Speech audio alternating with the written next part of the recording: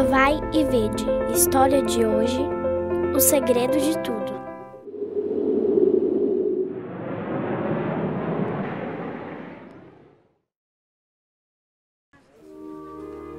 René Flores provém de uma família de condição humilde, da pequena cidade de Sica, no altiplano de La Paz, Bolívia.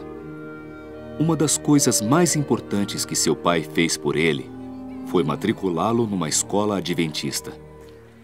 Tempo depois, ele conseguiu realizar seus estudos secundários no Colégio Adventista da Bolívia, na cidade de Cochabamba.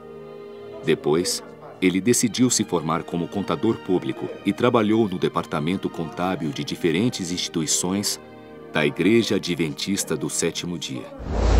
Por questões conjunturais, René foi demitido depois de 15 anos de trabalho na igreja. René sua esposa e seus três filhos homens começaram a orar intensamente para que ele conseguisse arrumar um novo emprego.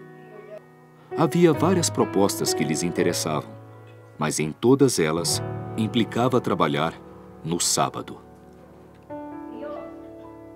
Certa manhã, ele ouviu claramente a voz de Deus dizendo: Você tem que ser um empresário. Você tem que ser uma bênção para a sua igreja. Mas como ser empresário sem dinheiro? Oi, como É está um você, grande prazer recebê-lo em minha casa. Seja muito bem-vindo. Pode sentar-se. Obrigado, obrigado. Irmão, no dia de sábado eu te vi um pouquinho preocupado, triste na igreja. Então eu pensei, tem alguma coisa com o irmão. Por isso ele está tão triste. É porque você nunca costuma estar assim. Está sempre entusiasmado, animando todo mundo, mas algo aconteceu na sua vida. Então foi aí que eu soube que você, irmão, está sem trabalho. Você mesmo disse pregando que está sem trabalho, não tem recursos e também, irmão, como você tem muitas amizades que tinham proposto na parte política um emprego, então eu pensei, bom, o irmão já deve estar empregado. Mas também fiquei pensativa quando você disse, irmãos, a política não é para os cristãos. Então, é, eu não aceitei esse emprego. Bem, aí eu pensei e disse: eu fico feliz realmente pelo irmão René não ficar envolvido na parte política. Mas, irmão, alguma coisa eu senti e eu pensei: tem um dinheiro que está entrando para poder comprar uma casinha. Mas não estou achando a casa. Será por vontade de Deus? Eu não sei. Mas isso ficou na minha mente. E eu falei: por que eu não posso emprestar esse dinheiro para o irmão René?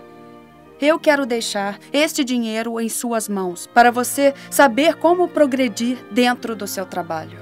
Você é um homem de negócios, então eu quero lhe entregar esta quantia, irmão, para você continuar em frente. E algum dia, quando eu achar a casinha para comprar, você tenha a amabilidade de devolver, irmão. Irmã, muito, muito obrigado, irmã.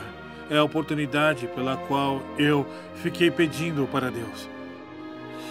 Muito obrigado, irmã. René fez uma pesquisa de mercado e viu que os importadores careciam dos conhecimentos técnicos apropriados para negociar com outros países. Foi ali que René encontrou sua oportunidade. Com aquele dinheiro, René iniciou uma empresa familiar, Importações CJI. Ele começou distribuindo material de construção na região, ampliou a distribuição em todo o estado e continuava crescendo. Os anos iam se passando e Deus confirmava sua promessa na família de René. Eles nunca deixaram de lado sua fidelidade e comunhão com Deus. Através dos cultos familiares, diariamente colocavam suas vidas nas mãos do Senhor. René é um ancião consagrado da Igreja Maranata, cidade de El Alto, em La Paz.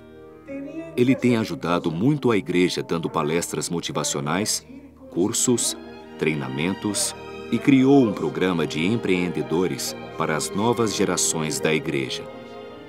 Pela graça de Deus, René e sua família têm hoje estabilidade econômica e já pagaram um empréstimo de dinheiro para a irmã Nemésia. René não considera que o dinheiro, mesmo que necessário, seja o mais importante. Agora eu compartilho o segredo de tudo na vida. 1. Um, primeiro Deus. Relacionamento com o nosso Pai Celestial todos os dias.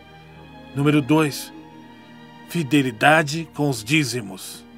Número 3. Generosidade nos pactos. Provai e vede. Em reconhecimento e gratidão a Cristo por tudo que Ele é, entregamos os dízimos e ofertas como parte da nossa adoração.